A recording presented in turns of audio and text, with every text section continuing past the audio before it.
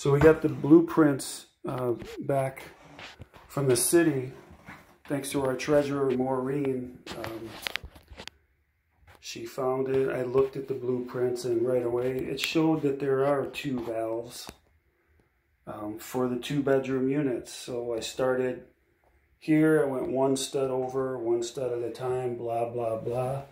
Found nothing. I got here and um, you can't rotate the handles this way.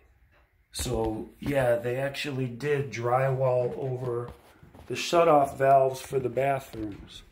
So take it over here and you can see this is where you actually, in the hall bathroom, this is where you actually have your shutoff valves for the bathroom it looks like they had access to it one time, but they just drywalled right over it. So I'm thinking that all of the two bedroom units are going to be the same. I'm not sure, but um, that's about $1,500 job right there.